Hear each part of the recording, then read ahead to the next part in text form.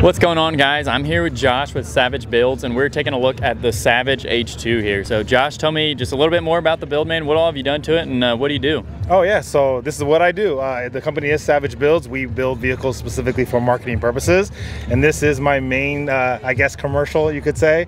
It is a stock 2007 Hummer, but as you can tell, we've done some things to it. Custom 15 inch lift, uh, 20 by 14 uh, tires, uh, I got spinning caps on it from Cap King, which are pretty cool. Uh, and that's it. This is actually a dream child of my teenage son. He wanted a monster truck. So instead of spending a whole bunch of money and buying something new, we just decided to take our family car and make it crazy. There you go. So yeah. this is his as soon as he turns 16 then. He is waiting for it, absolutely. Driver's test is next week. Oh my gosh. So He's excited.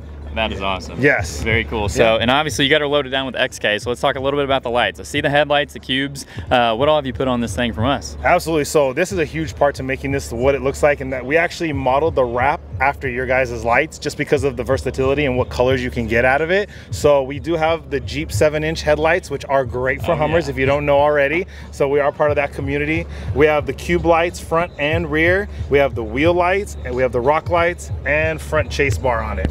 Awesome. Yeah, it looks amazing. Obviously, it is plenty lit up as if the wrap doesn't do that alone by itself. So yes. it looks awesome. Uh, if you had to pick one thing about our lights in specific, like one favorite thing of the app, whether it's a feature, uh, what would you say it is? I would say userability, right? The way you're able to daisy chain every single component together and still get, as you can see from our headlights, two different zone colors oh. and to kind of customize it in the app, it's beyond anything I've ever seen in my life. Yeah. Awesome. Well, we really appreciate it. We obviously love the H2 and uh, yeah, just thanks for thanks for working with us and we appreciate everything you do. No, appreciate you guys. You're the best. Thank you. Thanks, Josh.